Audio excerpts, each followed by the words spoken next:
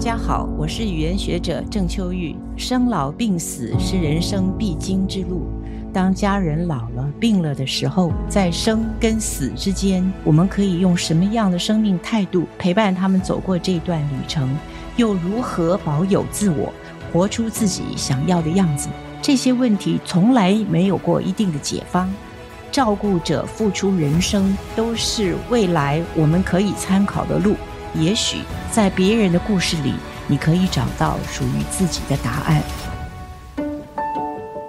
照顾人生从来无法预期何时会来，如何预备自己的未来呢？大家好，我是主持人杨月娥。聆听做好预备的明天，将有更多机会做出适合你的选择。欢迎 Parkes 搜寻，先来一杯，我们再聊。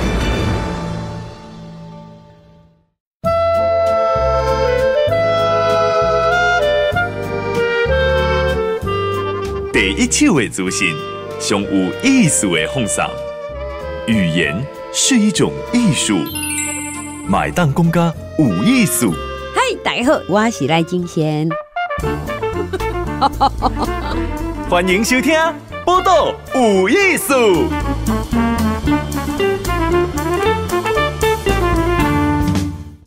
嗨，今日报道有艺术，甲大家好问的是人生百味，吼，人生有足侪足侪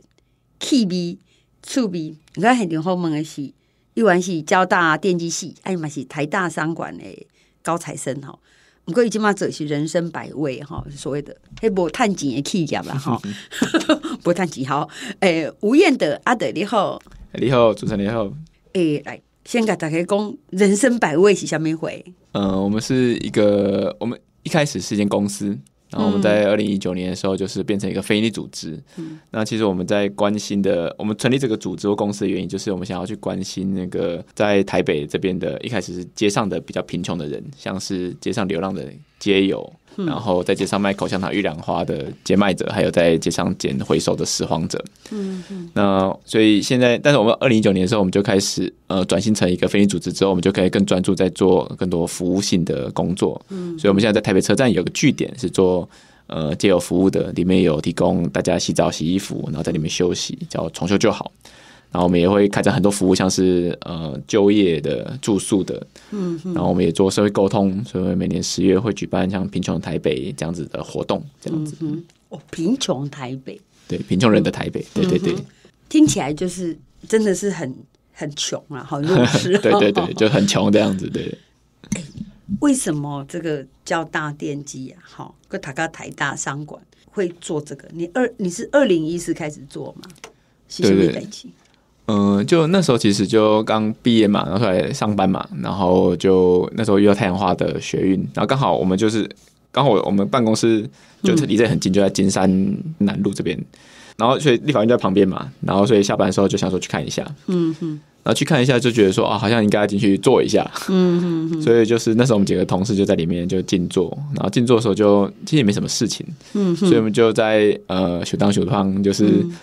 呃，那时候想说要去当志工，然后就去帮忙倒那个厨余，就是因为那里有很多人捐食物来，然后其实吃不完，他们就会坏了就只能倒掉嘛。所以那时候就倒了很多奶茶什么的。嗯，结果那时候就看到有一个人就转带那种行李啊，然后很身上就是因为觉得他就是街友了，我也不知道他是谁，可是他就来领便当，他想领来领物资来物资站。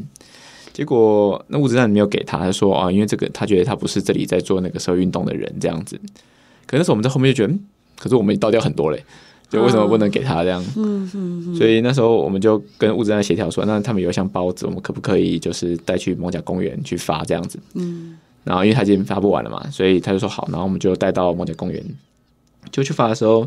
就遇到了那我们第一次看到这么多街友，因为因为以前只是知道冯家公园有街友，然后第一看哇，里面大有七八十个人，然后睡在地上，七八十个，对对对，哦，所以就嗯，然后去的时候。想说啊，因为因为我们只有带二十个包子而已，所以想说啊，糟糕，就是我们那时候进去就要把钱包啊什么都收好这样子，然后就说哇，等下会不会被抢之类的。嗯，结果去的时候就那大家就看到我们嘛，然后就有个大哥就说啊，你们是来发包子吗？我们说对对对，他说那帮你们发，他就帮我们请大家排队，然后就发发发。然后想说啊，糟糕不够了，然后他就发二十个，他说没有了，他就说啊那没有了，那大家就到解散，然后他们就说谢谢，然后就离开了。那这个大大哥又拿了三个包子，就移移到那个公园最后面，就给那里几个坐轮椅的老人家。然后我就问大哥说：“为什么你要特别给他们？想说他们是谁这样子？”他们说：“哦，因为他们就是动作比较慢，然后不方便，然后很多人来发物资的时候都拿不到，他就特别留给他们。”嗯嗯。然后自己大哥自己没有拿。我就：“然后那天我那天我们三个就是……哎，等一下，大哥自己也是街友吗？”他说他不是啦，可是我觉得其实之后我们在做街友一起做那么久，其实我们发现其实很多人就是会。就算他是，他也会说自己不是这样子。但晚上九点你还坐在公园里面，就是不太是一般的人啦。我觉得，对吧？可是，所以他自己可能也需要包子啊。就是很多人他自己觉得够了，他就不会拿。就是就是我们现在就那天晚上我就很很惊讶。第一个就是，我觉得我们对他们印象是完全是错误的。就是我们觉得很危险，会抢东西什么就没有都没有发生。然后一个觉得不好意思，然后一个就觉得说。没想到在这么困难的状态下都已经流浪了，可是还可以互相帮助，就是然后还去关心那个更弱势的人。所以我觉得那那一天开始，我们就开始有一个想法，就是说啊，我们想来办一个活动，想让大家去认识这个无家者的活动。嗯嗯。因为那时候其实我们开始研究这个议题，就发现其实大家都很多人都很排斥街友，很多觉得街友，很多人觉得啊，你可以帮助老人家，帮助身心障碍者，帮助小孩子。可你可能觉得街友是不值得被帮助的，因为他们是好吃懒做的，是嗯嗯，就不不努力啊，不努力才把把自己弄成这个样子，自业自得啦。好，对对对。然后就会发现，其实嗯，我们那时候进去跟进去聊的时候，发现啊，跟我想的完全不一样。所以从那个时候才开始嗯做这些行动，这样子。这样，所以二零一四给太阳花姐姐的契机啦，哈，让那一个点让你们接触到街友。对，接触到街友，然后也接触到说，哇，原来社会运动这么多素人，或者看见一般人，其实能去改变这个社会，或者影响这个。我们过去觉得，对我来说，以前大学研究所都会觉得政治这种东西，或者是整个社会是我不不能有没有办法去改变，除非我有很有权利或很有钱。但那时候就发现说，你其实有在发展一些小，我们那时候就听太阳话，其实也只是从可能几个人开始去关心那个反媒体垄断啊那些地方开始，然后就说哦，其实很多小小行动它就是会不断的积累，然后产生一种变化这样子。嗯，好，那再跳回去，你毕竟阿德利不乃公。所以，在交大电机系啊，台台大商学院这种，这有工这是满满的准备被就业，哈，说我准备好了，哈，有一定的条件，哈，那你当然去参加一个社会运动，专专对关心皆有这样的议题，哈，这个调整很顺利嘛？除非然后一点，除非讲淡季的一个星期嘞。我我觉得，其实从一开始，他一开始还不是先考虑我家人的看法。其实我我其实最一开始都是其实。有在做电商馆的时候，就有一种感觉，就是这个是我想要做的嘛。嗯，就是那时候有去一些公司实习嘛，然后然后去上班嘛，可是就会觉得有点无聊。嗯，或者会有一种感觉，就是说，呃，这个世界有差多一个人去做这些事情嘛，做行销啊，做的的感觉。所以那时候我有看到那个有一本书叫做《那个穷人银行》，尤努斯对，那时候就说哇，社会企业那时候我就突然对这个事情就很有向往，就是又能赚钱，然后又能帮助社会，就是是我那时候觉得说哦，我觉得这样比较有意义。所以其实我觉得，在我这个年代的很多跟我同辈的朋友，其实我觉得我们都是一个比较缺少一种意义感，因为在我爸妈那个年代，大家赚钱其实很有意义的。那个意义是因为家里都很穷，嗯嗯，所以去帮助家人是很有意义的事情。可是我现在就觉得，因为我爸妈是公务员，嗯嗯，那我想说。我赚的没有比比你们退休金还要多，就是出来工作三万块。我想说，我到底家里也不缺我这个钱，我爸没说不用拿钱回家。嗯嗯，所以我赚钱就是想哦自己保就好。那我突然觉得说啊，我也许做事就不用是这个事情。嗯嗯，对对对，我赚很多钱对我来说，我也没有想要买好的车子或好的衣服。嗯嗯，所以好像就没有一个赚很多钱的动机在那里。突然，所以我觉得做这种有意义的事情，好像都突然对对我来说比较重要。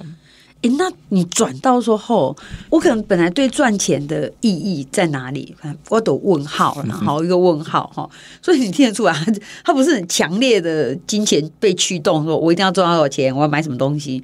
可是，所以当他看到街友一些人，好，他觉得凯西我有关心，好，那我转过去，我觉得这个是一个，我觉得那你要从哪里着手？因为你说太阳化的时候，因为那些本薄啊让我发现嘛，哈、嗯，可是到真正要切进去，关心到真的可以关心到，你怎么开始？就当开始做的时候，就突然发现到自己很穷，就 是突然觉得赚钱有意义了，这样，这是第一个想法。所以一开始就什么都没有嘛，所以呃，我们那时候就是我们伙伴就说大家办这个活动，然后呃，所以其实很多东西都是用借的，就是说那时候要办一个活动，要煮饭嘛，然后要，所以我们要去募食材，然后去借场地，然后啊，那所以我们那时候都一开始都没有钱嘛，所以呃，因为我们也刚刚上班，其实自己生活就差不多就那样子，然后也不好意思做这件事，也不好意思跟家人拿钱，所以最开始其实就是都是用问的，上网问说，哎，有没有人我们要做这件事情，有没有人要给我们食物啊？所以菜场问说，哎，有没有人要给我们食物啊？啊，其实就蛮多人给的，然后甚至有那个卖卖，就是原本想说都先拿大家就是卖不完的，结果很多人都拿新的出来，就是然后甚至有人就是因为想肉一开始想说是募不到的，想说要去买的，那就又有一个专门做那种有机食品的人，就突然跳出来说：“哦，这个这个这个给你们这样子。”那就是他他拿出他们冰箱那个冷冻的肉给我们这样，然后厨房也是，就是那时候讲要在在什么地方煮，讲说啊最差就在自己家里的那个就是那种租房子的那种客厅里面那种小厨房里面煮这样子，就最差就这样子。就是煮给游民们吃。对对对，嗯，结果那时候我们就去问了一个餐厅，就我们那时候问了一些餐厅，然后说那下午可以借我们煮吗？嗯其实以前不知道，以前不知道，其实对餐厅有点冒犯了。餐厅怎么可能把厨房借给你用这样子？结果那时候就真的有餐厅借给我们用，好，餐厅就说我们下午它是一个做欧陆料理那种高级餐厅，然后说下午我们没有。给你们用，而且他还把我们整理成我们可以用的样子，哇，嗯嗯然后就这样在公餐之间就有个休息时间，他就让我们用，然后结果他就说我们要走，我那时候因为我们就一开始煮嘛，动作就很慢，嗯，然后又煮的不是很好，然后所以走的时候那个餐厅就很乱，这样子厨房就很乱。他说没关系没关系，我收我收这样子，然后就帮我们收这样，嗯，然后那时候就又很感人，就是 就是你想要做这件事情，就是很多人都会嗯嗯跳出来。就不要跳出来，就是说你去找他的时候，觉得很多人被问到，他们都会觉得哦，我可以可以，我可以来帮忙。嗯嗯所以那时候为什么叫取名叫石头汤，就是就是借那个故事的名字，就是大家都做一些些事情，一件本来不可能发生的事情，它就会发生。嗯。所以石头汤，九桃蛮猪这汤哈，对，就是石头汤就是有一个大家他拿一个石头嘛，然后很多人就一点每个人拿一点食物出来，所以他是在讲一个骗子的故事啦。嗯，但是最后是真的有汤可以喝，但最后是真的有汤可以喝，就是以前大家都觉得，所以我觉得这个活动在一开始它就是汇聚那个众人之力所产生的一个活动。嗯哼那然后甚至我觉得后面哦，就有个那开始慢慢有一些资源，就开始，例如说我们开始做嘛，然后就有一些新闻来报道我们。嗯，然后因为大家真的不太会煮菜，我们就没在煮菜，嗯所以有那种切菜就切的很尴尬，就切的很丑这样子。我们每那时候每个月办一次，就有一个厨师，他就他就来参加，然后他还带了一个一个快速炉来，嗯他就说，呃，他说哦他那时候在自助餐吃饭的时候就看到我这个活动，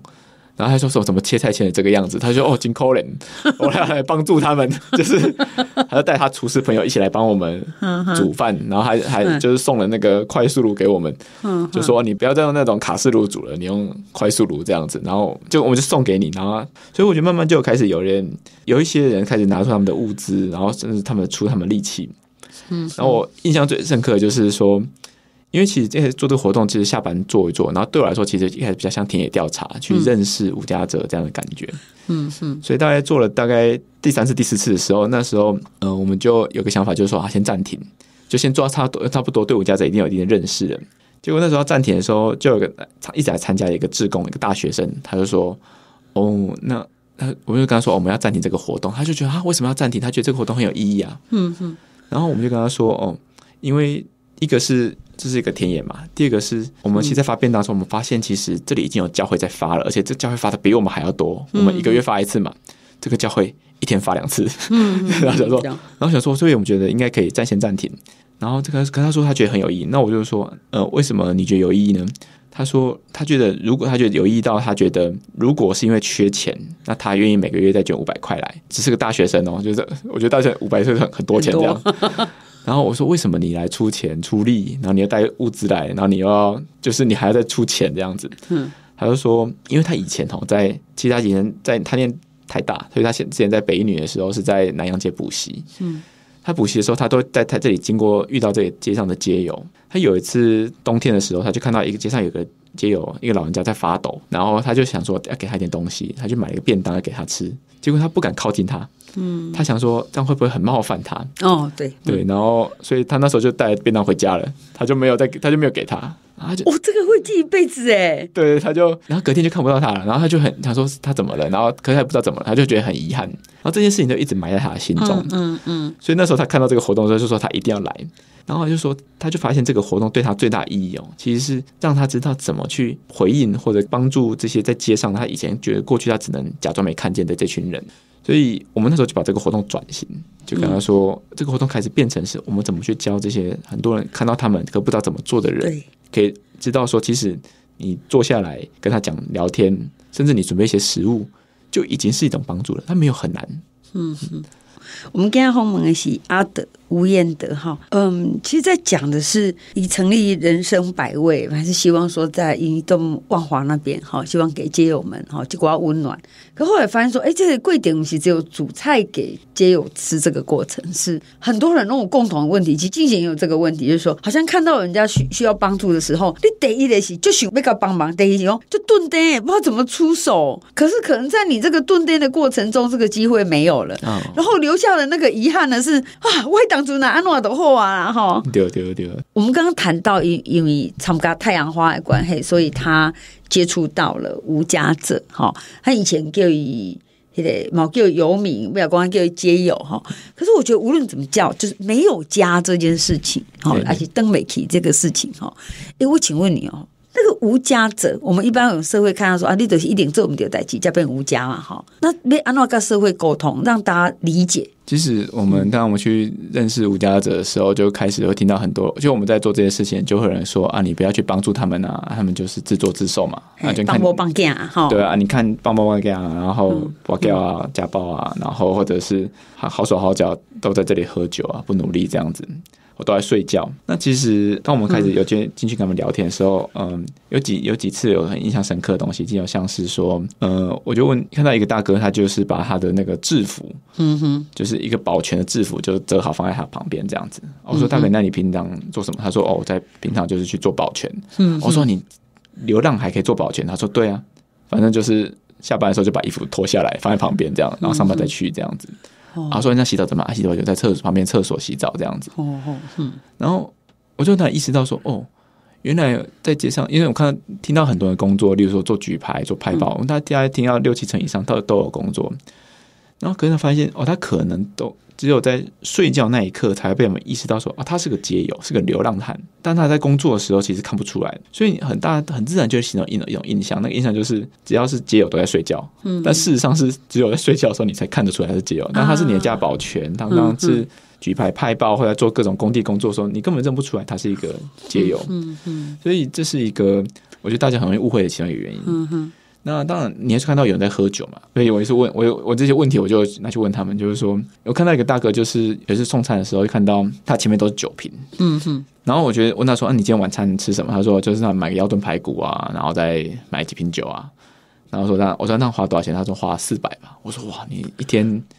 今天工作赚多少钱？”他说：“今天举牌赚七八百。”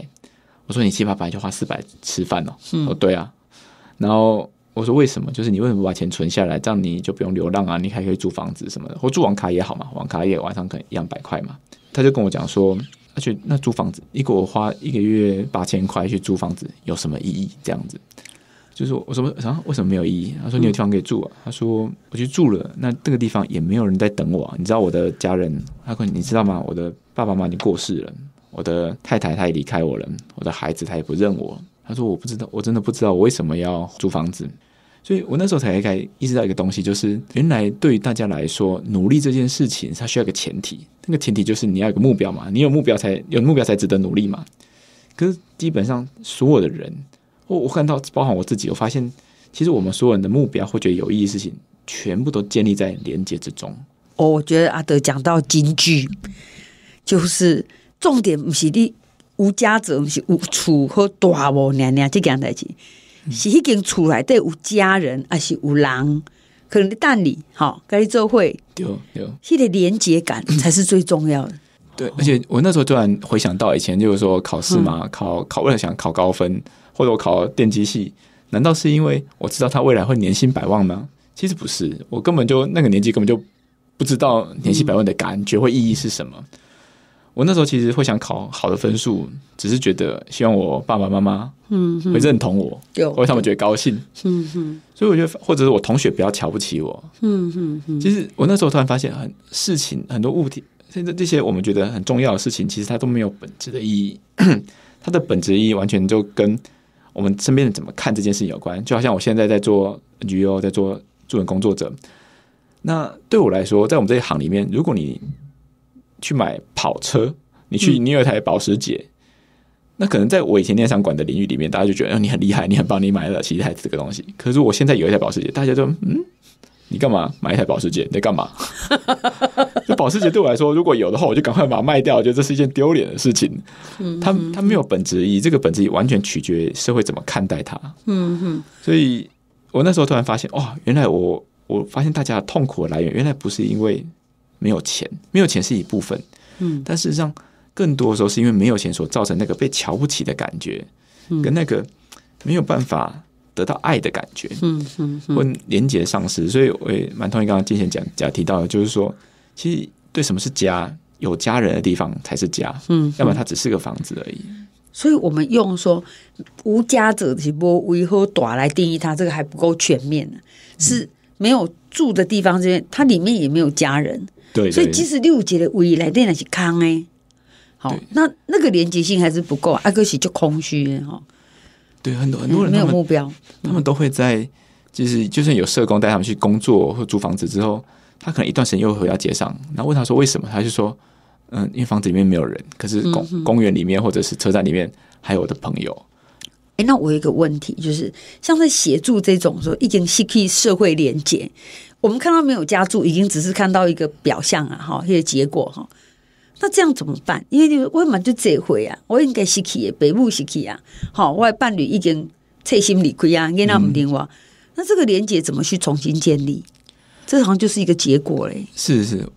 他他看起来很多对，其实对呃，以前我们在面对无家者工作的时候，其实这个看起来是一个很不可逆的，就是当你已经失去家人了，对。那我们以前。方式可能就是哦，好像把你送回家。对。但是你跟家人关系已经不好了，他已经不想认你了，就是过世就你过世过世了嘛。对。可是他们你们关系不好，你过去有很多的仇恨，你伤害了对方，或对方伤害了你，你把他送回去其实就没有用，他就再出来而已。对。所以呃，我们在这里面开始，我们在台北城站做这个计划，跟台北市合作的这个叫重修旧好的这个计划，其实他就是在谈说，怎么让一个人从失去连接回到连接。而我们观察到几个部分哦，第一个就是连接要怎么重建。第一件事情是你的状态不能太差，嗯嗯，就说当你很不舒服，当你每天都身体洗不干净，你每天穿你觉得不是干净、不脏的或臭的衣服，你其实会很没有精神。所以，我们洗澡、洗衣服这件事情，你有没有这种经验？就是你换新衣服，或者是你去洗澡，你的精神就不一样。嗯嗯嗯。那当你非常萎靡、非常没有精神的时候，你不会想要跟任何人产生交触接触，嗯，就像你如果你生病你失业，你也不会想去参加同学会一样，就像所以在台北车站，虽然大家可能很多都睡在隔壁睡很久，可他们几乎不会认识，他们跟隔壁的人其实不太会交流，好像每个人都像自己的一个孤岛，嗯哼。所以第一个事情就让大家先恢复那个精神，嗯，那所以我们就参考一个日本的做法，日本哦，他们有一些给街友的酒吧。然后哇，然后想说哦，我们在台湾就是让让吴家泽就有不要喝酒都来不及了，你还给他一个酒吧。然后我们就问他说，那我们就问，因为他在他在大阪，大阪也是日本三大街友最聚集的地方，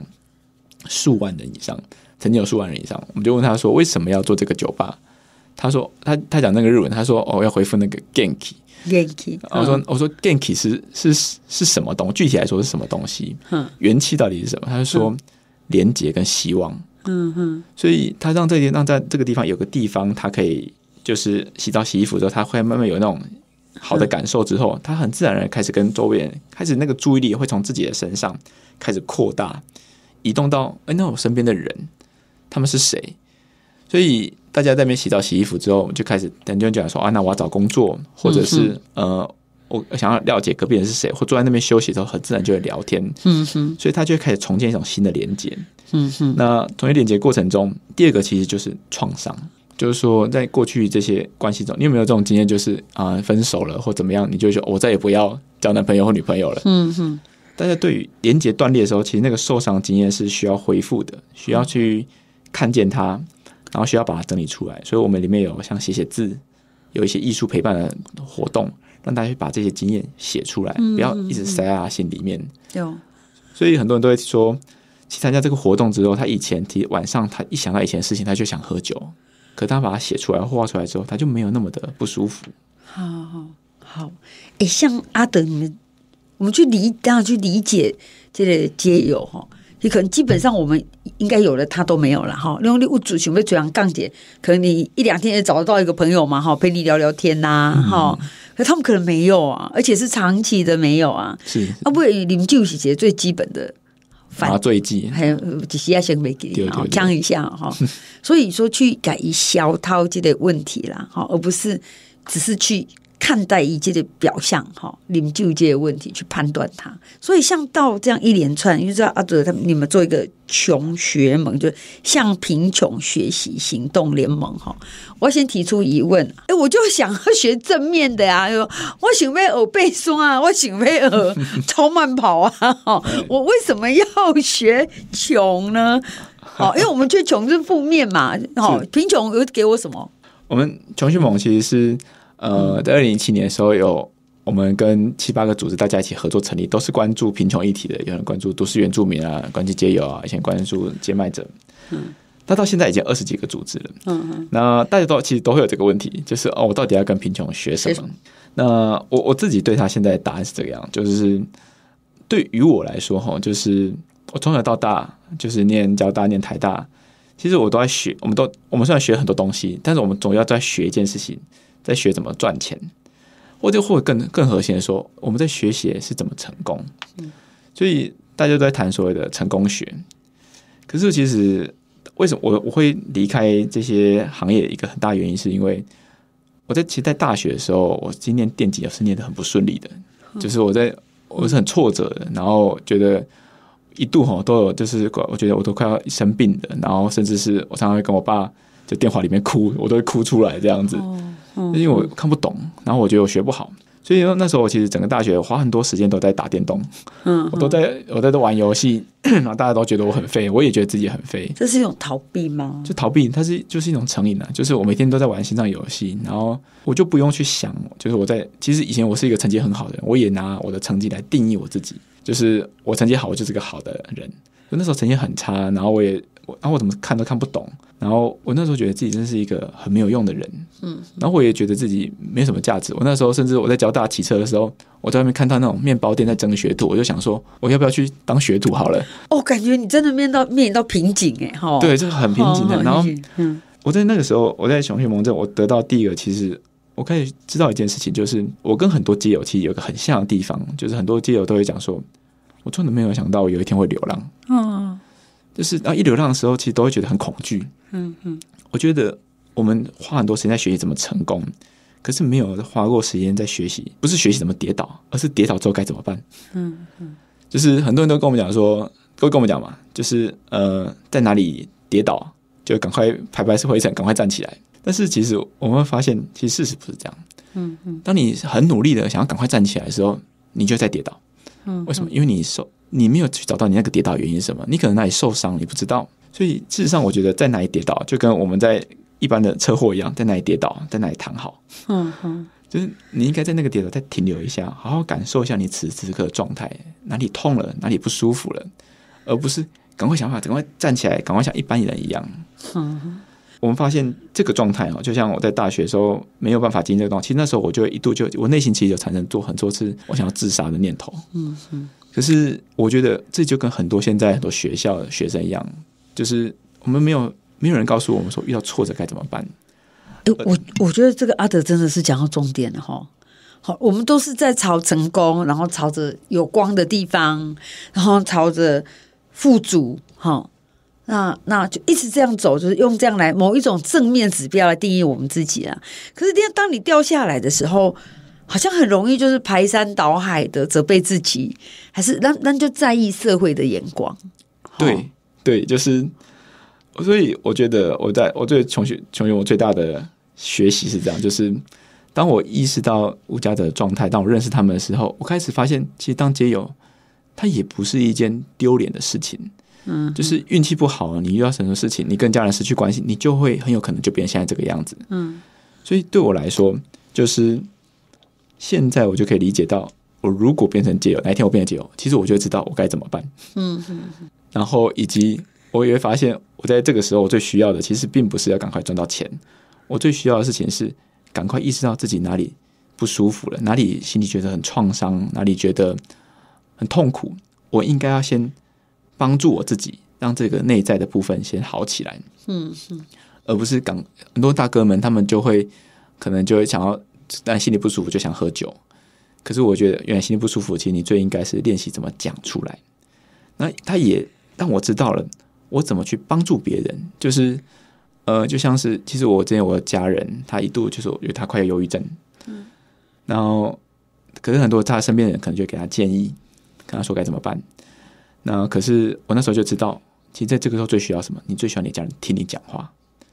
所以那时候他他跟我表达说，他有很多担心，他怕失业，怕什么什么的。我那时候一个就是我就把话听他讲完，然后我没有告诉他，他就说我这样是不是很不好或怎么样？我就我就没有去跟他说哦，我觉得不好，你应该赶快改变。我就说没有关系啊，这是自然的，每个人都会，每个人都有这个情况的，我也有这样子。然后他就比较能接受他现在这个状态。人只有在能接受自己这个状态的时候，才有办法停在那个地方，让自己好一点。要不然很多人就会赶快想要爬出来。嗯嗯。然后我觉得我就是以前大学的时候就太想爬出来，爬出来都失败，就是。然后，所以我现在就遇到挫折。像我其实，在两两年前做这个 NG 游戏，做压力有点大，所以我就一度就做忧郁症。嗯哼。就是，然后就是每天起来就觉得分数，每天心情分数只有四十分的那种感感觉。我一早起来，刚好感谢早婚是什么日子啊？对，就是你天气是亮的，你看起来都像阴的。然后，所以我那时候，我因为我已经做这个一段时间，我已经学习跟贫穷有些学习了，所以我立刻就意识到，我那时候第一个想说，我是不是生病了？然后我这样，我的我太太问我说：“你是不是生病了？”我那个想说，我一第一个想法是没有，我没有生病。但是我讲哦，不行，我做做这种最怕就是没有病耻感，我就说。我就可能有可能有可能生病了。他说：“要不然你去测一下。”我说：“测完，他说啊，真的生病了。”然后我就立刻就跟我的同事说：“我觉得我可能得忧郁症了。”嗯，对，然后我觉得我可能需要休息一下。然后我同事就说：“OK 啊，就是那你要什么把你工作分一分。”就我就没有再撑，要撑起一个好像要跟以前一般一样的状态。嗯嗯，那我大概这个四十分，大概一个月左右就好了。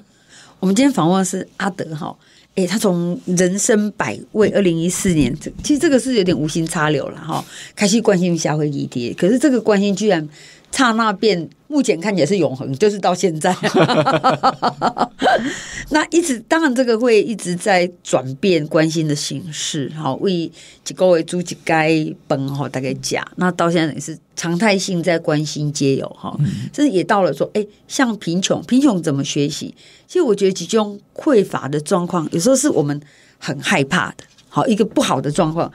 其实我们我想每一个人可能都经历过人生就无后悔时感。可是我当他力度挣扎哈，可能背起来嘛，不顾个顾累，个背回来不顾，就说这个这个有时候反而会更长，还是说很在意别人怎么看我们？对，安奈叫衰，安奈做该叫败哈，写安诺，你越在意别人，那可能又要更更难过。对对，这这是一个很很好的解释哈。所以有一些活动，所以你们十月份都在讲是贫穷人的台北哈，这个要去哪里看？我们纪念平台在今年十月十五号到十一月十五号中间，就是在剥皮寮，嗯，然后在南机场，然后还有在大红区都有都有展区，嗯哼，那里面其实有一系列的活动。其实，呃，我们我觉得刚刚金贤姐讲到一个，我觉得很关键，就是其实当你在落入这种处境的时候，你最害怕的其实都不是那个处境本身，很多时候是别人怎么看你。嗯哼，那。我们这里展览就是，其实它都是由这个经验者的本人去讲出一段他自己为什么会落入这个状态的故事。嗯嗯，也就是说，它是一个去除污名的过程。我们去去除这种困境的污名，就是当你落入这个状态的时候，它不是你的错，嗯，对你有你的原因，然后每个人在这里面，很多经验者就会出来表达出他们的原因。一部分他为自己倡议，告诉自己为自己去污名；一部分他也为这样的困境去无名。嗯，我觉得它可以让我们学会说，我们如何可以中性的去看待这些困境，去理解它它为什么会变成现在这个样子。很自然的，你就不会排斥自己落入这个状态，以相对的，你也不会排斥你的家人或朋友落入这个状态。嗯嗯。那事实上，它就会带来一种很大的宽慰，就是对于不管你自己遇到困难，别人遇到困难，嗯，你都不需要因为你遇到困难，因为贫穷而被瞧不起，而失去尊严。嗯哼，好，那我们今天访问是阿德，我们会把这个穷学盟，好，诶，接下来的活动我们会贴在有意思的脸书，然后呢，也可以去找好穷学盟。你们是有粉丝专业，对，我们有粉丝专业，然后里面会有有一系列活动，包含真人图书馆，然后导览，然后或者是呃很多讲座。OK，嗯哼，好，那我们可以继续追踪好你的活动，谢谢，谢谢，谢谢金金姐，谢谢大家。播的无艺术，上精彩热流，The Spotify、Google Podcast、Go Apple Podcast，拢听爱到哦。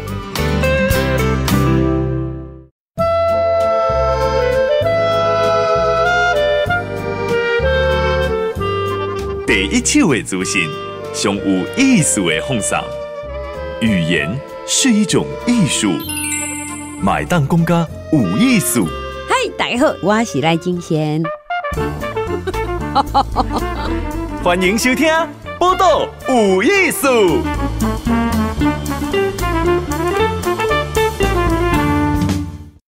嗨，今日报道有艺术，甲大家好，问的是。人生百味，哈，人生有足济足济气味、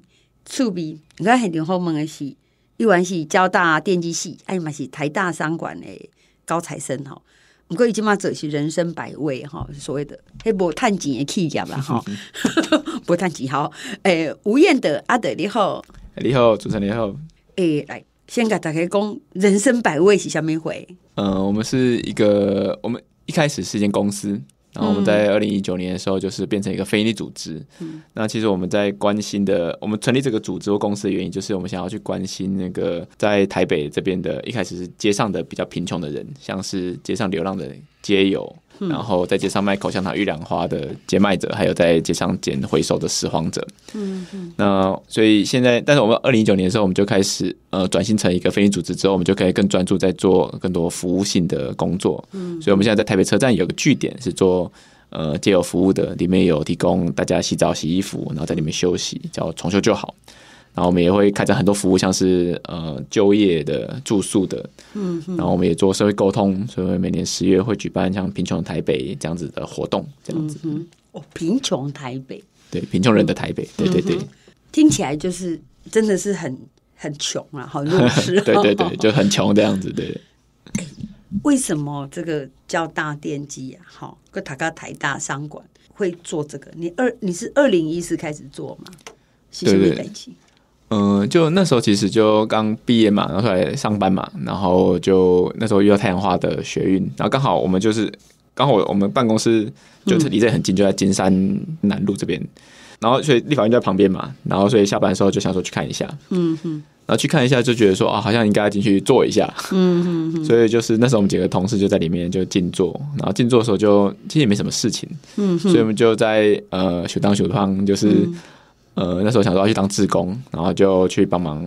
倒那个厨余，就是因为那里有很多人捐食物来，然后其实吃不完，他们就会坏了就只能倒掉嘛。所以那时候就倒了很多奶茶什么的。嗯，结果那时候就看到有一个人就转带那种行李啊，然后很身上就是因为觉得他就是街友了，我也不知道他是谁，可是他就来领便当，他想领来领物资来物资站。结果那物资站没有给他，他说啊，因为这个他觉得他不是这里在做那个社会运动的人这样子。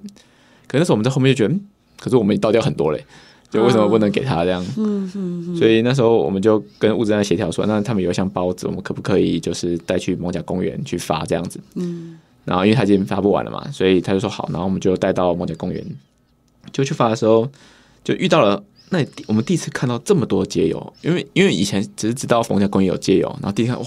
明代有七八十个人，然后睡在地上，七八十个，对对对，哦，所以就嗯，然后去的时候。想说啊，因为因为我们只有带二十个包子而已，所以想说啊，糟糕，就是我们那时候进去就要把钱包啊什么都收好这样子，然后就说哇，等下会不会被抢之类的。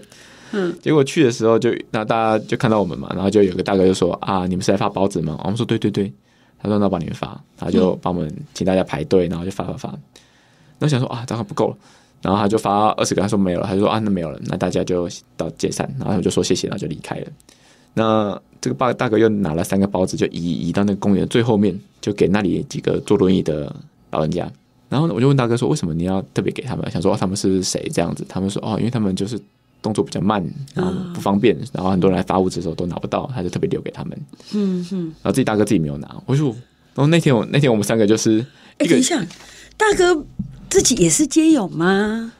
他说他不是啦，可是我觉得其实之后我们在做街友一直做那么久，其实我们发现其实很多人就是会，就算他是他也会说自己不是这样子。但晚上九点你还坐在公园里面，就是不太是一般的人啦，我觉得对吧？可是所以他自己可能也需要包子啊。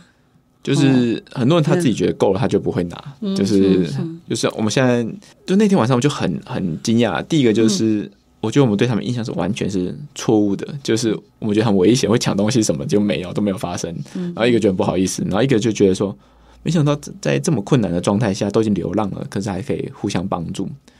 就是然后还去关心那个更弱势的人。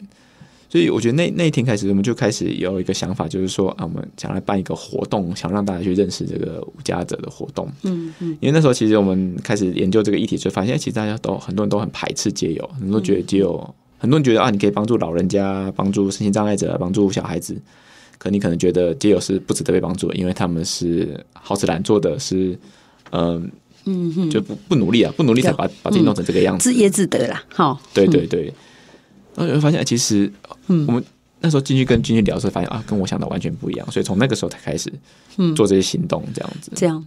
所以二零一四给太阳花喜节的契机啦，哈，让让一个点让你们接触到街友。对，接触到街友，然后也接触到说，哇，原来社会运动这么多素人，或者看见一般人，其实能去改变这个社会，或者影响这个。我们过去觉得，对我来说，以前大学、研究所都会觉得政治这种东西，或者是整个社会是我不不能有没有办法去改变，除非我有很有权利或很有钱。但那时候就发现说，你其实有在发展一些小。我们那时候就听太阳话，其实也只是从可能几个人开始去关心那个反媒体垄断啊那些地方开始，然后就说哦，其实很多小小的行动，它就是会不断的积累，然后产生一种变化这样子。嗯，好，那再跳回去，你毕竟阿德利不乃公。所以，在交大电机系啊，台台大商学院这种，这有公这些满满的准备被就业，哈，说我准备好了，哈，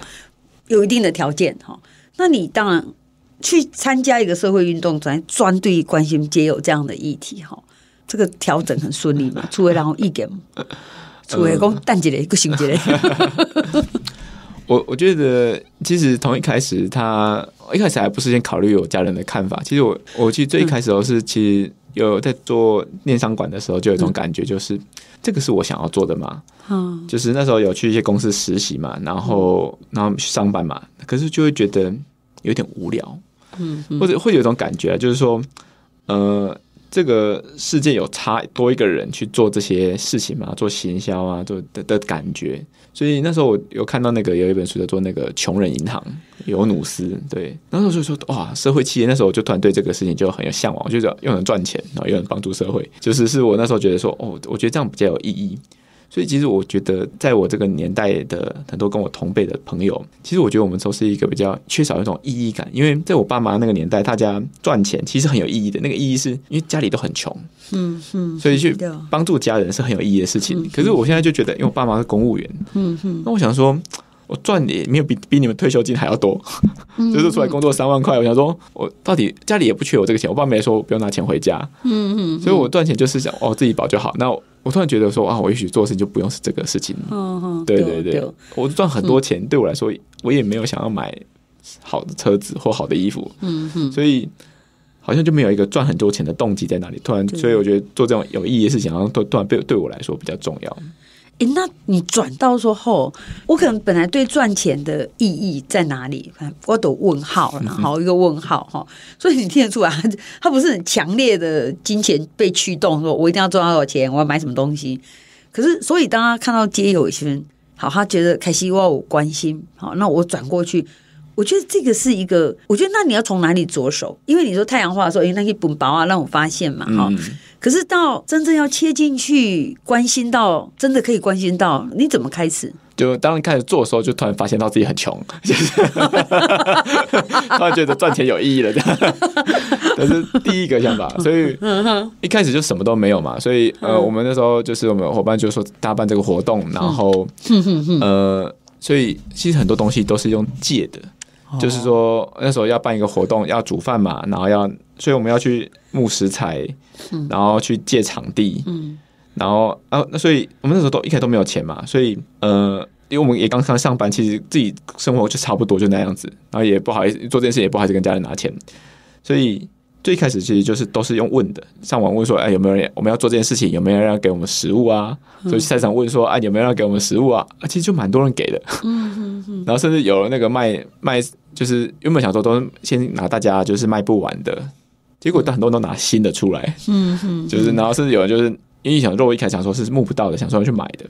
然后就有一个专门做那种有机食品的人，就突然跳出来说，哦，这个这个这个给你们这样子，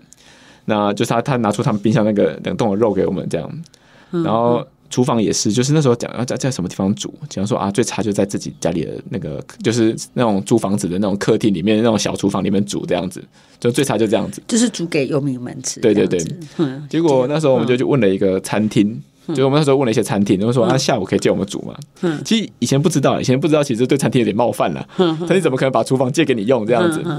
结果那时候就真的餐厅借给我们用。好好好餐厅就说我们下午，它是一个做欧陆料理那种高级餐厅，然后说下午我们没有给你们用，而且他还把我们整理成我们可以用的样子。哇，嗯然后就这样在公餐之间就有个休息时间，他就让我们用。然后结果他就说我们要走，我那时候因为我们就一开始煮嘛，动作就很慢，嗯，然后又煮的不是很好，然后所以走的时候那个餐厅就很乱，这样子，厨房就很乱。他说没关系，没关系，我收我收这样子，然后就帮我们收这样。嗯，然后那时候就又很感人，就是 就是你想要做这件事情，就是很多人都会嗯嗯跳出来，就比较跳出来，就是说你去找他的时候，觉得很多人找被问到，他们都会觉得哦，我可以可以，我可以来帮忙。嗯嗯所以那时候为什么叫取名叫石头汤，就是就是借那个故事的名字，就是大家都做一些些事情，一件本来不可能发生的事情，它就会发生。嗯，所以石头汤，九桃蛮猪这汤哈。对，就是石头汤就是有一个大家他拿一个石头嘛，然后很多人就一点每个人拿一点食物出来，所以他在讲一个骗子的故事啦。嗯，但是最后是真的有汤可以喝。但最后是真的有汤可以喝，就是以前大家都觉得，所以我觉得这个活动在一开始它就是汇聚那个众人之力所产生的一个活动。嗯哼那然后甚至我觉得后面哦，就有个那开始慢慢有一些资源，就会开始，例如说我们一开始做嘛，然后就有一些新闻来报道我们。嗯，然后因为大家真的不太会煮菜，我们就没在煮菜，嗯所以有那种切菜就切的很尴尬，就切的很丑这样子。我们每那时候每个月办一次，就有一个厨师，他就他就来参加，然后他还带了一个一个快速炉来，嗯。他就说，呃，他说哦他那时候在自助餐吃饭的时候就看到我这个活动，然后他说说怎么切菜切成这个样子，他就说哦，金扣人，我要来帮助他们，就是他就带他厨师朋友一起来帮我们煮饭，然后还还就是送了那个快速炉给我们，就说你不要再用那种卡式炉煮了，你用快速炉这样子，然后就我们就送给你，然后所以我觉得慢慢就开始有人有一些人开始拿出他们的物资，然后甚至他们出他们力气，嗯，然后我印象最深刻的就是说。因为其实这些做这个活动，其实下班做一做，然后对我来说，其实一开始比较像田野调查，去认识吴家泽这样的感觉。嗯嗯所以大概做了大概第三次、第四次的时候，那时候，呃，我们就有个想法，就是说啊，先暂停，就先做到差不多差不多对吴家泽一定有一定的认识了。结果那时候暂停的时候，就有个一直来参加一个志工，一个大学生，他就说：“哦，那他我就跟他说、哦我们要暂停这个活动。”他就觉得啊，为什么要暂停？他觉得这个活动很有意义啊。嗯嗯然后我们就跟他说：“哦，因为一个是这是一个田野嘛，第二个是我们其实在发便当的时候，我们发现其实这里已经有教会在发了，而且这教会发的比我们还要多。我们一个月发一次嘛，这个教会一天发两次。嗯，然后想说然后想说，所以我们觉得应该可以暂先暂停。然后这个跟他说他觉得很有意义，那我就说，呃，为什么你觉得有意义呢？他说他觉得如果他觉得有意义到他觉得如果是因为缺钱，那他愿意每个月再捐五百块来，只是个大学生哦，就是 我觉得大学五百是很很多钱这样。然后我说为什么你来出钱出力，然后你要带物资来，然后你又要就是你还要再出钱这样子。嗯，他就说，因为他以前哦在其实他以前在他念太大，所以他现之前在北一女的时候是在南洋街补习。嗯，他补习的时候，他都在他这里经过遇到这里街上的街友。他有一次冬天的时候，他就看到一个街上有个街友，一个老人家在发抖，然后他就想说要给他一点东西，他就买了一个便当要给他吃。结果他不敢靠近他，嗯，他想说这样会不会很冒犯他？哦，对对，然后所以他那时候就带便当回家了，他就没有再他就没有给他，然后他就哦，这个会记一辈子哎。对，他就然后隔天就看不到他了，然后他就很他说他怎么了，然后可是他也不知道怎么了，他就觉得很遗憾，然后这件事情就一直埋在他的心中，嗯嗯，所以那时候他看到这个活动的时候，就说他一定要来。然后就说，他就发现这个活动对他最大意义哦，其实是让他知道怎么去回应或者帮助这些在街上他以前觉得过去他只能假装没看见的这群人。所以我们那时候就把这个活动转型，就跟他说，这个活动开始变成是我们怎么去教这些很多人看到他们可不知道怎么做的人，可以知道说，其实你坐下来跟他讲聊天，甚至你准备一些食物，就已经是一种帮助了。他没有很难。嗯嗯，我们今天访问的是阿德。吴彦德哈，嗯，其实，在讲的是以成立人生百味，还是希望说在移动万华那边哈，希望给街友们哈，就要温暖。可后来发现说，哎，这个贵点不是只有煮菜给街友吃，这个过程是很多人那种共同的问题。其实进行也有这个问题，就是说，好像看到人家需需要帮助的时候，你得一得是就想被他帮忙，得一哦就顿呆，也不知道怎么出手。可是可能在你这个顿呆的过程中，这个机会没有了，然后留下的那个遗憾呢是啊，我当。哪安诺的好啊，哈！对对对。我们刚刚谈到，因因为参加太阳花的关系，所以他接触到了无家者，哈。他以前叫以那个毛叫游民，不要光叫街友，哈。可是我觉得无论怎么叫，就是没有家这件事情，哈，而且登美琪这个事情，哈。哎，我请问你哦。那个无家者，我们一般有社会看到说啊，你都是一点做不掉代际，叫变无家嘛，哈。那没安怎跟社会沟通，让大家理解。其实我们当我们去认识无家者的时候，就开始会听到很多，就我们在做这些事情，就会有人说啊，你不要去帮助他们啊，他们就是自作自受嘛。啊，就看帮帮干哈。对啊，你看帮帮帮干啊，然后包掉啊，家暴啊，然后或者是好手好脚都在这里喝酒啊，不努力这样子。我都在睡觉。那其实，当我们开始有进进去跟他们聊天的时候，嗯，有几有几次有很印象深刻的东西，就有像是说，呃，我就问看到一个大哥，他就是把他的那个制服，嗯哼，就是一个保全的制服，就折好放在他旁边这样子。我说大哥，那你平常做什么？他说哦，我在平常就是去做保全。嗯，我说你流浪还可以做保全？他说对啊，反正就是下班的时候就把衣服脱下来放在旁边这样，然后上班再去这样子。啊，说人家洗澡怎么？洗澡就在厕所旁边厕所洗澡这样子。哦哦，嗯。然后我就突然意识到说，哦，原来在街上，因为我看到听到很多人工作，例如说做举牌、做拍报，大家听到六七成以上都都有工作。然后可能发现，哦，他可能都。只有在睡觉那一刻，才会被我们意识到说，啊，他是个街友，是个流浪汉。但他在工作的时候，其实看不出来，所以很大很自然就会形成一种一种印象。那个印象就是，只要是街友都在睡觉。嗯。但事实上是，只有在睡觉的时候，你才看得出来他是街友。但他是你的家保全，当当是举牌派报或者做各种工地工作的时候，你根本认不出来他是一个街友。嗯嗯。所以这是一个，我觉得大家很容易误会的其中一个原因。嗯哼。那当然，你也是看到有人在喝酒嘛？所以我也是问我有我这些问题，我就拿去问他们，就是说，我看到一个大哥，就是也是送餐的时候，看到他前面都是酒瓶，嗯哼。然后我觉得问他说：“啊，你今天晚餐吃什么？”他说：“就是他买个腰炖排骨啊，然后再买几瓶酒啊。”然后说：“那我说那花多少钱？”他说：“花四百吧。”我说：“哇，你一天今天工作赚多少钱？”他说：“今天举牌赚七八百。”我说：“你七八百就花四百吃饭哦？”哦，对啊。然后。我说为什么？就是你为什么不把钱存下来，这样你就不用流浪啊？你还可以租房子什么的，或住网卡也好嘛，网卡也晚上可能一两百块嘛。他就跟我讲说，而且那租房子，一个我花一个月八千块去租房子，有什么意义？这样子，就是我说什么？为什么没有意义？他说你有地方可以住啊。他说我去住了，那这个地方也没有人在等我。你知道我的家人，他说你知道吗？我的爸爸妈妈已经过世了，我的太太她也离开我了，我的孩子他也不认我。他说：“我不知道，我真的不知道我为什么要租房子。”所以我那时候才该意识到一个东西，就是原来对于大家来说，努力这件事情它需要一个前提，那个前提就是你要有个目标嘛，你有目标才有目标才值得努力嘛。可是基本上所有的人，我我看到包含我自己，我发现其实我们所有人的目标或觉得有意义的事情，全部都建立在连接之中。哦，我觉得阿德讲到金句，就是重点不是你。无家者毋是有厝和大无娘娘这件代志，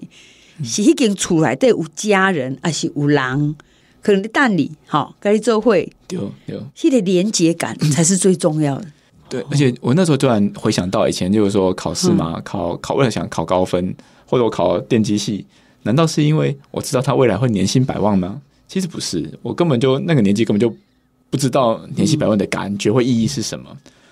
我那时候其实会想考好的分数，只是觉得希望我爸爸妈妈嗯会认同我，有会他们觉得高兴，嗯哼所以我觉得或者是我同学不要瞧不起我。嗯哼哼，其实我那时候突然发现，很事情很多物体，现在这些我们觉得很重要的事情，其实它都没有本质的意义。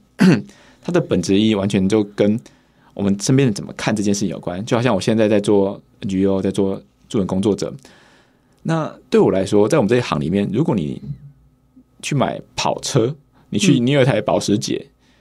那可能在我以前电商管的领域里面，大家就觉得、哦、你很厉害，你很棒，你买了其一台这个东西。可是我现在有一台保时捷，大家就嗯，你干嘛买一台保时捷？你在干嘛？就保时捷对我来说，如果有的话，我就赶快把它卖掉。我觉得这是一件丢脸的事情。它它没有本质意义，这个本质意义完全取决于社会怎么看待它。嗯哼，所以我那时候突然发现，哦，原来我我发现大家痛苦的来源，原来不是因为没有钱，没有钱是一部分，嗯，但事实上更多的时候是因为没有钱所造成那个被瞧不起的感觉，跟那个没有办法得到爱的感觉，嗯哼哼，或连结丧失。所以我也蛮同意刚刚金贤讲讲提到的，就是说，其实对什么是家，有家人的地方才是家，嗯，要不然它只是个房子而已。所以我们用说无家者其不为何短来定义它，这个还不够全面呢。是没有住的地方这边，它里面也没有家人，对，所以对。即使六节的未来电那是空哎，好，那那个连接性还是不够，啊，个是就空虚的哈，对很多很多人没有目标，他们都会在，就是就算有社工带他们去工作或租房子之后，他可能一段时间又会回到街上，然后问他说为什么，他就说，嗯，因为房子里面没有人，可是公、公园里面或者是车站里面还有我的朋友。哎，那我有一个问题，就是像在协助这种说已经失去社会连接，我们看到没有家住，已经只是看到一个表象啊，哈，一个结果哈。那这样怎么办？因为就是我嘛就这回啊，我应该失去的，北部失去啊，好，我的伴侣已经彻心离开啊，囡仔唔听话，那这个连接怎么去重新建立？这好像就是一个结果嘞。是是，他他看起来很多对，其实对呃，以前我们在面对无家者工作的时候，其实这个看起来是一个很不可逆的，就是当你已经失去家人了，对那我们以前方式可能就是哦，好像把你送回家，对。啊，但是你跟家人关系已经不好了，他已经不想认你了，就是过世就嗯你过世过世了嘛。对，可是他们你们关系不好，你过去有很多的仇恨，你伤害了对方，或对方伤害了你，你把他送回去其实就没有用，他就再出来而已。对，所以呃，我们在这里面开始，我们在台北城站做这个计划，跟台北市合作的这个叫重修旧好的这个计划，其实它就是在谈说怎么让一个人从失去连接回到连接。而我们观察到几个部分哦，第一个就是连接要怎么重建。第一件事情是你的状态不能太差，嗯嗯，就说当你很不舒服，当你每天都身体洗不干净，你每天穿你觉得不是干净、不脏的或臭的衣服，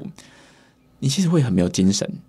所以，我们洗澡、洗衣服这件事情，你有没有这种经验？就是你换新衣服，或者是你去洗澡，你的精神就不一样。嗯嗯嗯，那当你非常萎靡、非常没有精神的时候，你不会想要跟任何人产生交触、接触。嗯，就像你，如果你生病、你失业，你也不会想去参加同学会一样。就像所以在台北车站，虽然大家可能很多都睡在隔壁睡很久，可他们几乎不会认识，他们跟隔壁的人其实不太会交流，很像每个人都像自己的一个孤岛。嗯哼，所以第一个事情就让大家先恢复那个精神。嗯，那所以我们就参考一个日本的做法，日本哦，他们有一些给街友的酒吧，然后哇，然后想说哦，我们在台湾就是让让吴家者街友不要喝酒都来不及了，你还给他一个酒吧。然后我们就问他说，那我们就问，因为他在他在大阪，大阪也是日本三大街友最聚集的地方，数万人以上，曾经有数万人以上。我们就问他说，为什么要做这个酒吧？他说他他讲那个日文，他说哦要回复那个然后我说我说 genki 是是是什么东具体来说是什么东西？嗯元气到底是什么？他就说连接跟希望。嗯哼，所以他让这里让在这个地方有个地方，他可以就是洗澡洗衣服之后，他会慢慢有那种好的感受之后，他很自然而然开始跟周围人开始那个注意力会从自己的身上开始扩大，移动到哎，那我身边的人他们是谁？所以大家在那边洗澡洗衣服之后，就开始等就讲说啊，那我要找工作，或者是、呃，我想要了解隔壁人是谁，或坐在那边休息的时候，很自然就会聊天。嗯哼，所以他就会开始重建一种新的连接。嗯哼，那重建连接过程中，第二个其实就是创伤，就是说在过去这些关系中，你有没有这种经验？就是啊、分手了或怎么样，你就会说我再也不要交男朋友或女朋友了。嗯哼，但是对于连接断裂的时候，其实那个受伤经验是需要恢复的，需要去看见它，然后需要把它整理出来。所以我们里面有像写写字，有一些艺术陪伴的活动，让大家去把这些经验写出来，不要一直塞在他心里面。有，所以很多人都会说，去参加这个活动之后，他以前提晚上他一想到以前的事情，他就想喝酒。可他把它写出来、画出来之后，他就没有那么的不舒服。好好好，哎，像阿德你们，我们去理，当然去理解这个街友哈，你可能基本上我们应该有的他都没有了哈。因为你物主想要嘴上杠姐，可能你一两天也找得到一个朋友嘛哈，陪你聊聊天呐、哈、可他们可能没有啊，而且是长期的没有啊。是啊，不，你们就是些最基本的反麻醉剂，还有只是要先没给你哈，对对对讲一下哈。所以说去改一消涛这类问题啦，哈，而不是只是去看待一切的表象哈，领就这些问题去判断它。所以像到这样一连串，因为知道阿德他们你们做一个穷学盟，就是向贫穷学习行动联盟哈。我先提出疑问，哎，我就想要学正面的呀、啊，我想要耳背诵啊，我想要耳超慢跑啊，哈，我为什么要学穷呢？好，因为我们觉得穷是负面嘛，好，贫穷有给我什么？我们穷学盟其实是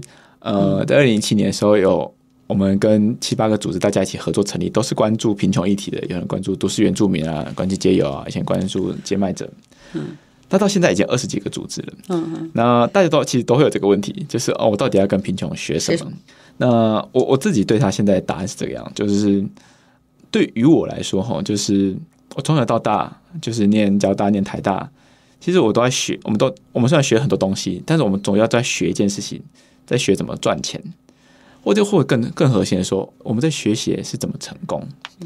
所以大家都在谈所谓的成功学，可是其实为什么我我会离开这些行业？一个很大原因是因为我在其实，在大学的时候，我今年电机也是念得很不顺利的，就是我在我是很挫折的，然后觉得一度哈都有，就是我觉得我都快要生病的，然后甚至是我常常会跟我爸就电话里面哭，我都会哭出来这样子，因为我看不懂，然后我觉得我学不好。所以那时候我其实整个大学花很多时间都在打电动，嗯，我都在我在玩游戏，然后大家都觉得我很废，我也觉得自己很废，这是一种逃避吗？就逃避，它是就是一种成瘾啊。就是我每天都在玩线上游戏，然后我就不用去想，就是我在其实以前我是一个成绩很好的人，我也拿我的成绩来定义我自己，就是我成绩好，我就是个好的人。就那时候成绩很差，然后我也我然后我怎么看都看不懂，然后我那时候觉得自己真是一个很没有用的人，嗯，然后我也觉得自己没什么价值。我那时候甚至我在交大骑车的时候，我在外面看到那种面包店在争学徒，我就想说，我要不要去当学徒好了？哦，感觉你真的面到面临到瓶颈哎，哈，对，这个很瓶颈的。哦然后嗯我在那个时候，我在熊学盟镇，我得到第一个，其实我可以知道一件事情，就是我跟很多街友其实有个很像的地方，就是很多街友都会讲说，我真的没有想到我有一天会流浪，嗯就是然后一流浪的时候，其实都会觉得很恐惧。嗯嗯，我觉得我们花很多时间在学习怎么成功，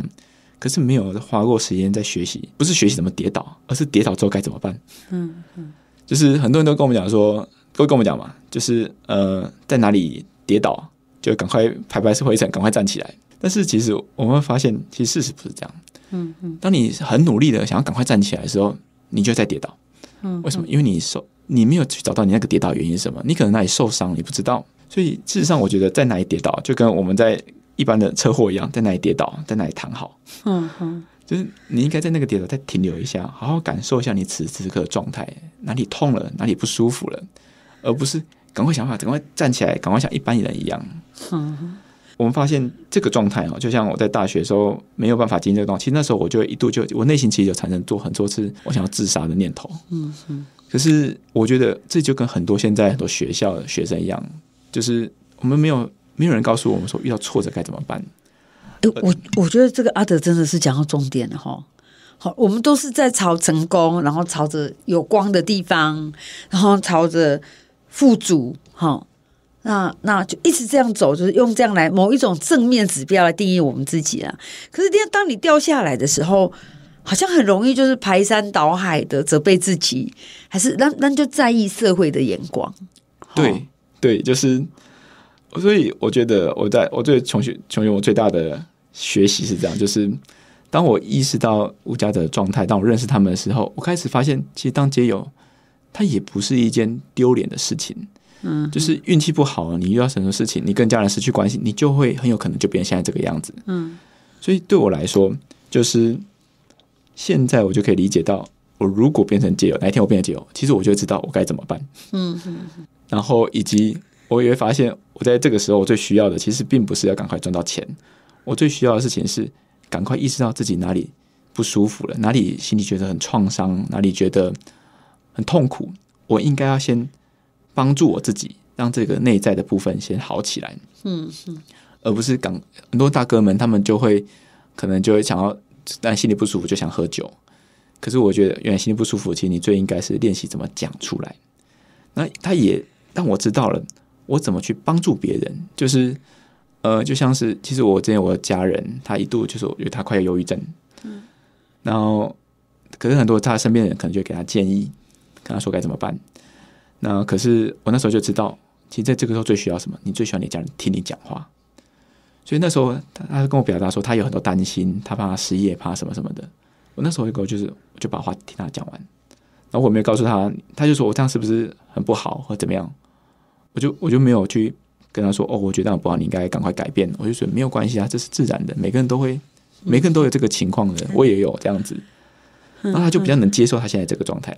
人只有在能接受自己这个状态的时候，才有办法停在那个地方，让自己好一点。要不然很多人就会赶快想要爬出来。嗯嗯。然后我觉得我就是以前大学的时候就太想爬出来，爬出来都失败，就是。然后，所以我现在就遇到挫折。像我其实，在两两年前做这个 NG 游戏，做压力有点大，所以我就一度就做忧郁症。嗯哼。就是然后就是每天起来就觉得分数每天心情分数只有四十分的那种感感觉。我一早起来，刚刚好感谢早婚是什么日子啊？对，就是天气是亮的，你看起来都像阴的。然后，所以我那时候，我因为我已经做这个一段时间，我已经学习跟贫穷有些学习了，所以我立刻就意识到，我那时候第一个想说，我是不是生病了？然后我这样，我的我太太问我说：“你是不是生病了？”我那个想说，我一个第一个想法是没有，我没有生病。但是我讲哦，不行，我做做这种最怕就是没有病耻感，我就说。我就可能有可能有可能生病了。他说：“要不然你去测一下。”我说：“测完，他说啊，真的生病了。”然后我就立刻就跟我的同事说：“我觉得我可能得忧郁症了。”嗯，对。那我觉得我可能需要休息一下。然后我同事就说：“OK 啊，就是那你要什么把你工作分一分。”就我就没有再撑，要撑起一个好像要跟以前一般一样的状态。嗯嗯。那我大概这个四十分，大概一个月左右就好了。好，我们今天访问是阿德哈。哎，他从人生百味，二零一四年，这其实这个是有点无心插柳了哈，开始关心下回议题，可是这个关心居然刹那变，目前看起来是永恒，就是到现在。那一直当然这个会一直在转变关心的形式，哈，为一个为主一该本哈大概讲，那到现在也是。常态性在关心皆有哈，这也到了说，哎，像贫穷，贫穷怎么学习？其实我觉得其中匮乏的状况，有时候是我们很害怕的。好，一个不好的状况，其实我们我想每一个人可能都经历过，人生就无后悔感。可是我当他力度挣扎哈，可能背起来嘛，我顾个顾累，个背回来我顾，就说这个这个有时候反而会更长，还是说很在意别人怎么看我们？对，安奈叫衰，安奈做个叫败哈，写安诺。你越在意别人，那可能又要更更难过。对对，这这是一个很很好的一个很好的就是解释哈。所以有一些活动，所以你们十月份都在讲是贫穷人的台北哈，这个要去哪里看？我们今年平台在今年十月十五号到十一月十五号中间，就是在剥皮寮，嗯，然后在南机场，然后还有在大红区都有都有展区，嗯哼，那里面其实有一系列的活动，其实呃。我们我觉得刚刚金贤姐讲到一个，我觉得很关键，就是其实当你在落入这种处境的时候，你最害怕的其实都不是那个处境本身，很多时候是别人怎么看你。嗯哼。那我们这里展览就是，其实它都是由这个经验者的本人去讲出一段他自己为什么会落入这个状态的故事。嗯嗯。也就是说，它是一个去除污名的过程，我们去去除这种困境的污名，就是当你落入这个状态的时候，它不是你的错，嗯，对你有你的原因，然后每个人在这里面，很多经验者就会出来表达出他们的原因。一部分他为自己倡议，告诉自己为自己去污名；一部分他也为这样的困境去污名。嗯我觉得它可以让我们学会说，我们如何可以中性的去看待这些困境，去理解它它为什么会变成现在这个样子。很自然的，你就不会排斥自己落入这个状态，一相对的，你也不会排斥你的家人或朋友落入这个状态。嗯嗯那事实上，它就会带来一种很大的宽慰，就是对于不管你自己遇到困难，别人遇到困难，嗯你都不需要因为你遇到困难，因为贫穷而被瞧不起，而失去尊严。嗯哼，好，那我们今天访问是阿德，我们会把这个穷学盟，好，诶，接下来的活动我们会贴在有意思的脸书，然后呢，也可以去找好穷学盟，你们是有粉丝专业，对，我们有粉丝专业，然后里面会有有一系列活动，包含真人图书馆，嗯然后导览，然后或者是呃很多讲座。OK 对嗯哼，好，那我们可以继续追踪好你嗯的活动，谢谢。谢谢谢谢金金姐，谢谢大家。播客无艺术，上精彩内容，伫 Spotify、Google Podcast、Go Apple Podcast，拢听得到哦。